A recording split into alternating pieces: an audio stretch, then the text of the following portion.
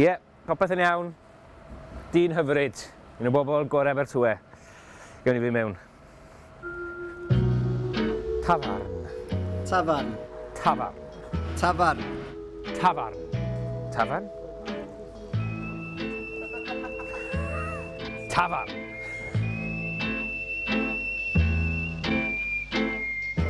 Wel ie, tafarnau. Peidiwch disgwyl rhyw berle llenyddol mawr yn y pethau 5 munud yma ni ar pub crawl. Osian y fi, achos mae osian yma hefyd yr camera ni. Osian so, Dyma'n esgus ni, osian, dros y daith yma. Uh, Dylan Thomas, The Pubs, gan Jeff Towns.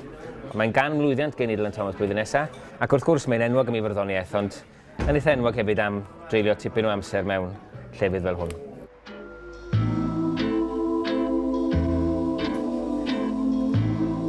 Wel dyma ni yn y dafarn gyntaf, to begin at the beginning. I ddechrau yn y dechrau'n deg, fel Jim Park Nest yn gweud.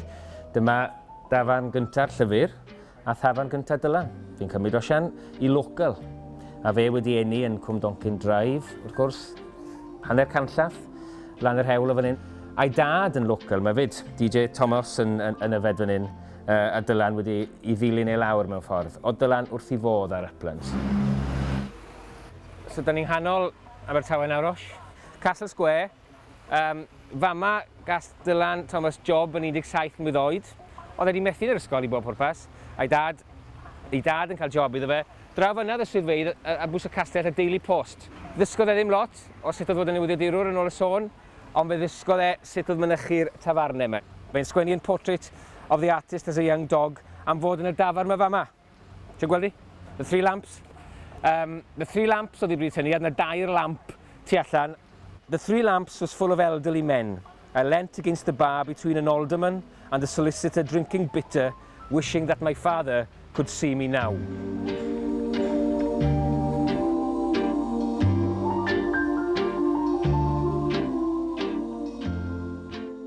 No Sign Bar, un o dyfarnau hynna Abertawe. Yr unig ddafan ar Wine Street, falle bydde Dylan Thomas y, ac unrhyw un sy'n licio peint call yn eisiau ymweld ag e. Ie, ti'n neu fi sy'n drifio? So ni wedi trafod un.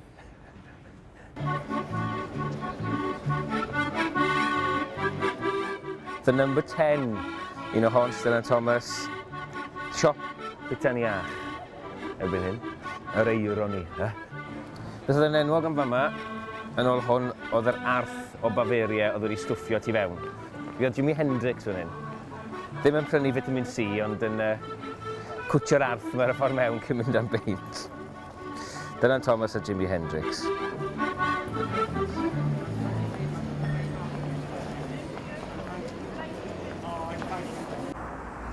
Wel, hwn yw'r High Street Osh. Uh, o be gallai weld, fan hyn oedd y bwys un arfer bod. Un o dyfarnau enwoca, hardda, fwyaf trawiadol Abertawe. A'r dafarn lle gas Dylan Thomas i, i ddiod ola yn Abertawe cyn mynd am y tren, ffordd na mwyn ni, yn Elimar Station nawr, uh, am America am y trola. Fa mae gas ei ddiod efo'i ffrind mawr Daniel Jones. Mae Daniel Jones wedi sgwennu, on the morning of the last day, we went to several pubs, ending up at the bush where we drank till afternoon closing time. A mae Dan Jones yn sôn bod wedi gweld e Dylan yn sefyll at the open window of the train, waving one hand slightly with an exaggerated weakness and smiling an odd little smile. The last time I ever saw his face.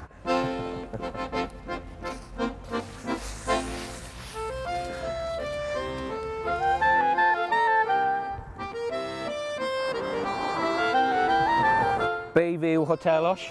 Fan hyn, yn ôl Jeff Towns yn y llyfr y dechreuodd Dylan ddathlu ben blwydd yn 22, hefo'i ffrind mawr a sgwennwr arall Vernon Watkins. A mae Graig Vernon Watkins, Gwen Watkins, yn sgwennu They started off with a drink at the Bayview Hotel, then took turns to ride Vernon's bicycle along the Mumbles Road to Oystermouth, ending up at Dylan's favourite pub, The Mermaid.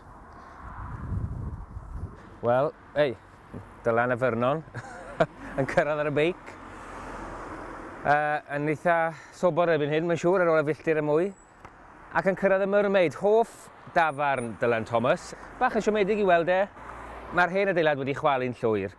Um, maen nhw wedi cadw'r enw, a mae yna rhyw ddwy fôr forwyn ymheis yr olwg yn croesawu pab i mewn. A i Abertawe, Osian, a Wels, he? Da, dim yn sawe.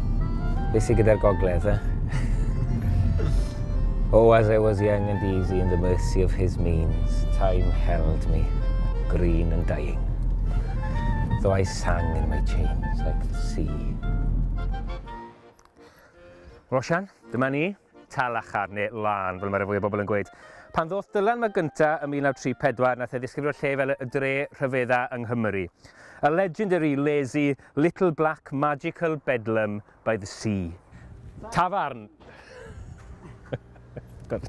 Dyma un o'i hoff dyfarnau fe'n halachan. Yr unig dafarn sydd yn cael mensh yn y llyfr, heblaw am dafarn fach arall lan ffordd na. Oedd e'n dod mewn bob dydd fwn y lai, oedd e'n dod mewn yn bore cael brecwast, oedd e'n rhoddi rhif ffôn i lot o bobl fel lan 13, sef rhif ffôn y dafarn. Mae hwnna siarad yn gweud y cwbl. Jimmy Carter, Richard Burton, Elizabeth Taylor, Patti Smith, Pierce Brosnan a Mick Jagger yn ôl llyfr Jeff Towns. Jyst chydig o bobl sydd wedi cwmpa mewn cariad ar bardd celtaidd dychmygus gwyllt yma yn eistedd yn y gornel yn y bay window yna yn gwrando ar y sgwrs fel y sgwrs yma heddi gyda'r locals ac yn creu cymeriadau fel Polygata, Captain Cat, Organ Morgan ar gyfer uh, yn The Milkwood. Wel, mae'n um, 20 munud wedi pedwar, i ni wedi cyrraedd prifddinas Sir Gar o Sian, y Sir Hyfryta.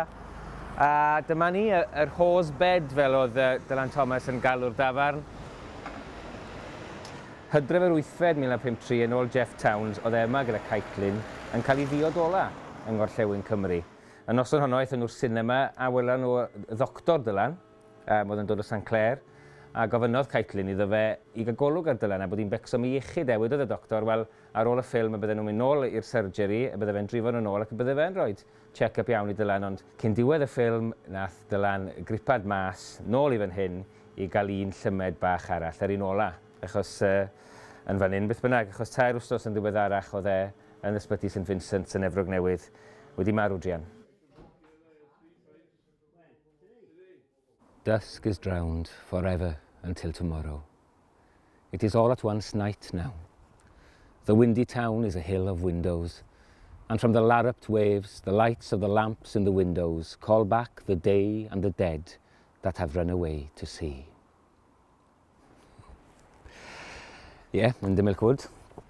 Ond mae Dylan Thomas The Pubs gan Jeff Towns wedi dod â ni i gei newydd i ddiwedd y daith. Fi oedd e a Caitlin yn ôl Jeff Towns yn y llyfr yn byw mewn byngl o bach ar y graig draf yna am fusodd lawer. Caitlin, Dylan a'r plant a Dylan Thomas yn, yn sgwennu tipyn o, o dan y wenallt yn Dymil Cwd. Ond, fel mae llyfr Jeff Towns yn pwysleisio, mi oedd yna dafarn yn y pictiwr hefyd. Felly Osian, y dafarn ola. Wel, dyma ni, Osian, a fi yn y Black Lion yng Nghynewydd, diwedd y daith. Diolch byth. a peint o'r diwedd. Yeah, I yeah, ti wneud i'r peint neu fwy na fi ar ôl dilyn fi dy'r camera yna. Di diolch os am ddod gyda fi. A diolch Jeff Towns am y llyfr. Dyma'r dafarn ola o ran y rai Cymreig. Ond ti'n modd, diwedd y llyfr ydy'r ydy, White Horse Tavern. Ti ti yeah. di bod na yn Efrog Newydd? Do, si na, llynydd. Um, felly. Mae e'n rhyw fath o beryr un dod i Gymru fyna, ond diwedd yeah. trist. Dylan mae'r llun, yn, yeah. mae llun yn y llyfr yn un hollol drist. Y llun ola o, o, o Dylan yn y White Horse Tavern yn yfed y diodydd yna. I chi da i, i ddawn Dylan Thomas, ie? Yeah, yeah, Nid yn gymaint yeah. i berthynas ydy'r dafar felly. I chi da i ddawn Dylan Thomas ac, ac i Jeff Towns a Wyn Thomas am y llyfr. I chi da Jeff, diolch am y daith.